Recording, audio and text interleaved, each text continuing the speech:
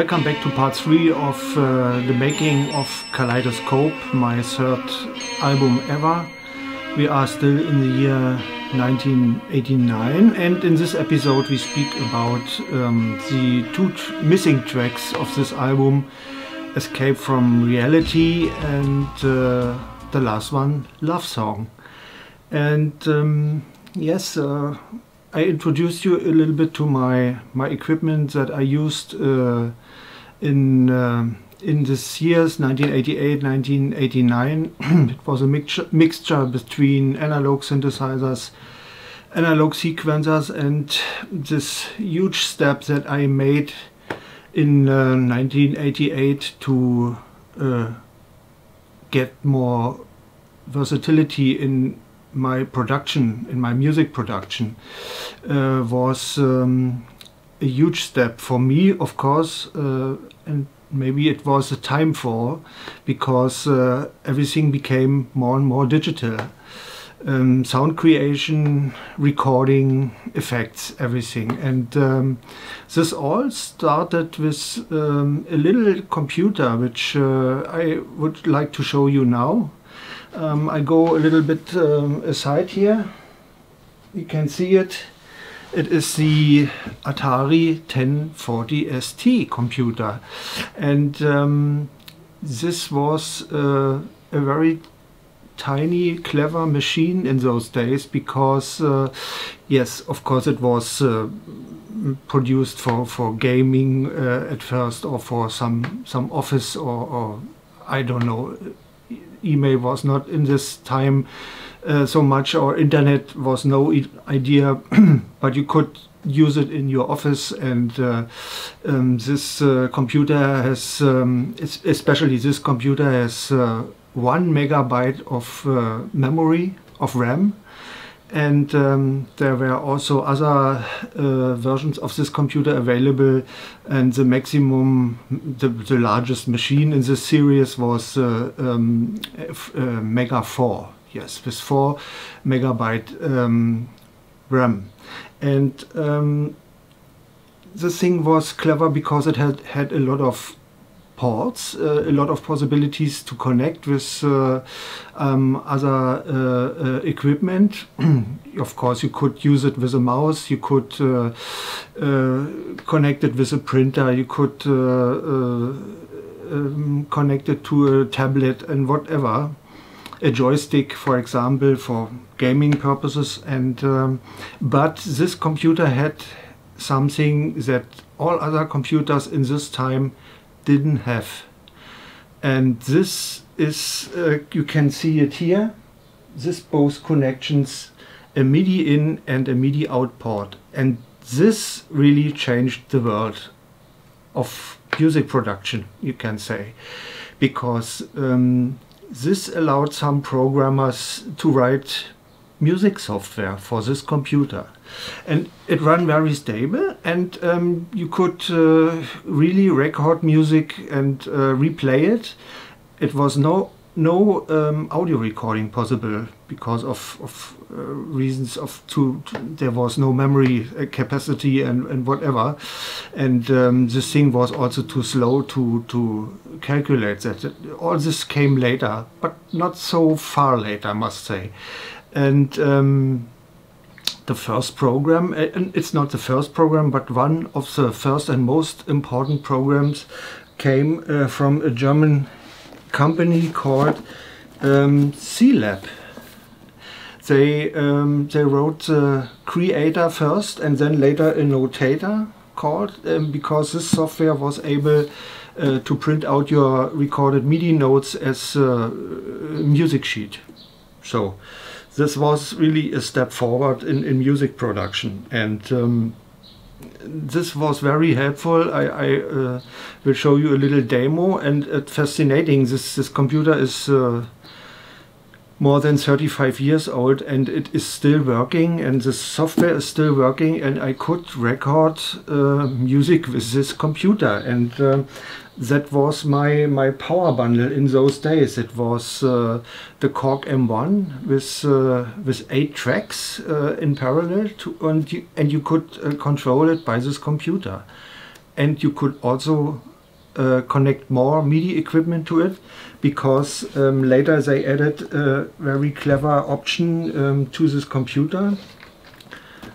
By the way, C-Lab became later eMagic and uh, when this, uh, the times of the Atari were over, um, they produced uh, um, the notator, I guess, for uh, Windows and uh, Mac first, but later this company was bought by Apple and since then they produce only for, for Mac computers. So that's a little step and yes, this is what I wanted to show you.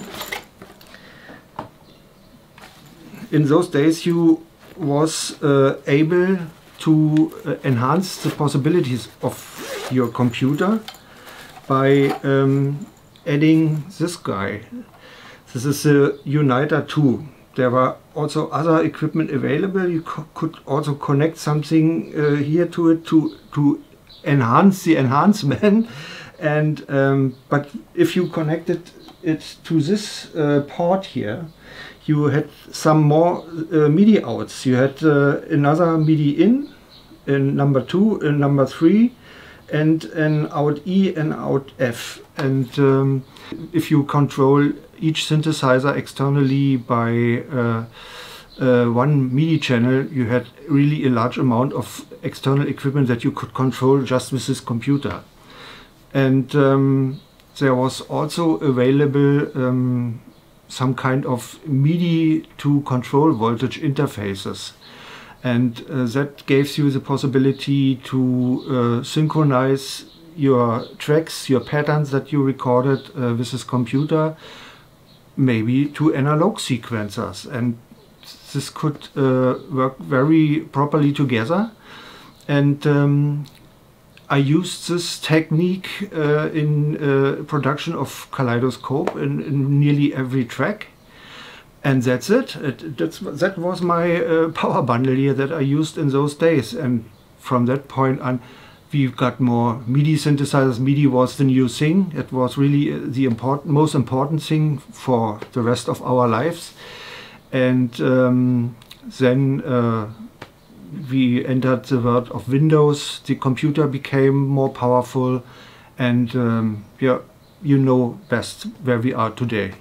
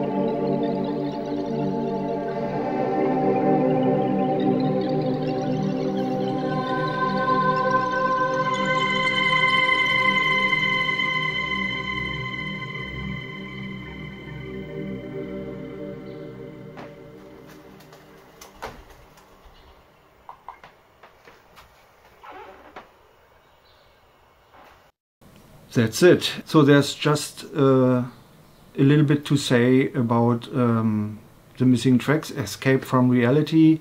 This track was the third one on um, my album Kaleidoscope and uh, it was uh, the encore that I played in Dresden at the Electronics Festival.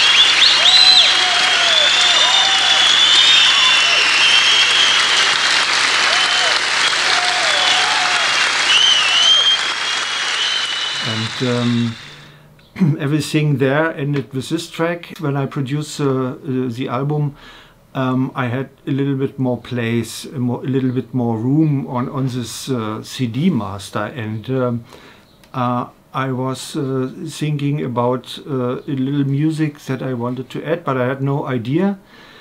And um, yes, uh, this is very interesting because uh, sometimes the best music that you, that you write is uh, the music you don't think about. This is not a music that uh, comes from heart and not uh, from your mind. And um, uh, exactly that happened with happened with love, love song. okay, I called it love song by a good reason in those days. Um, but I, I just sat in my studio and played a little bit around. Uh, I'm not sure if I recorded it on my uh, sequencer in the M1 only, but I used this M1 only for this track.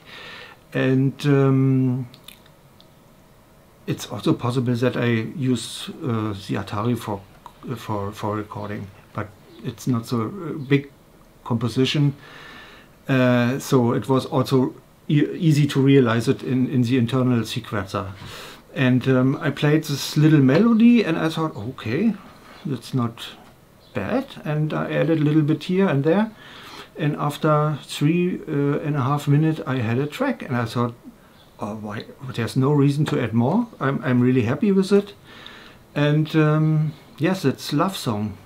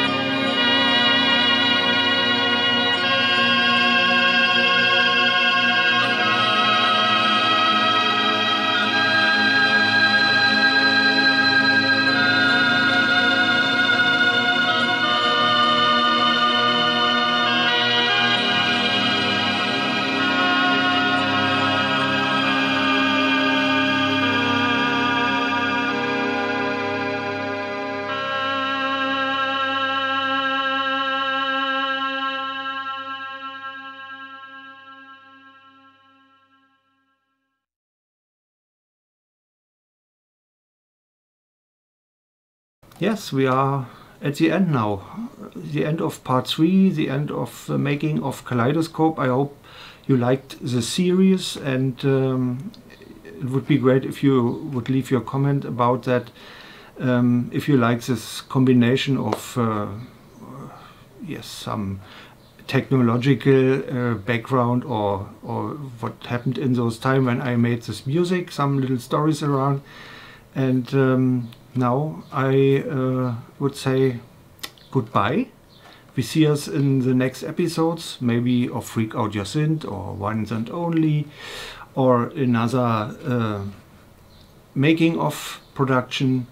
And um, yes, give me a like if you liked it, uh, subscribe to this channel, and uh, we see us.